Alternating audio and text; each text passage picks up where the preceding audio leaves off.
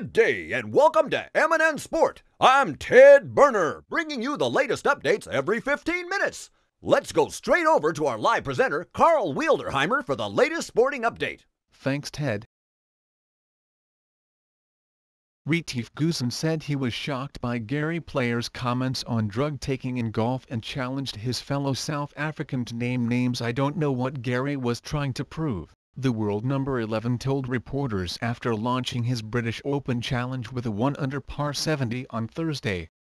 I am very shocked at his comments. By John Bramley.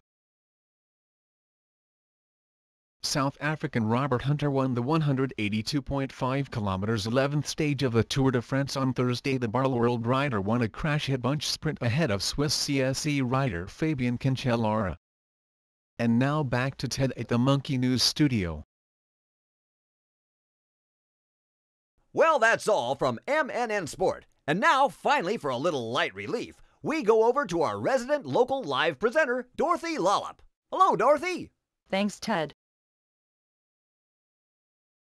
More than 10,000 small fish have been saved after becoming stranded on a racecourse. The fish had been left on the course at Worcester when the nearby River Severn flooded but thousands of larger fish were starved of oxygen and died, causing an horrendous stench across part of the city. And now back to Ted at the Monkey News Studio. Well, that's all for now from me, Ted Burner, here at MNN Sport. Sporting updates every 15 minutes.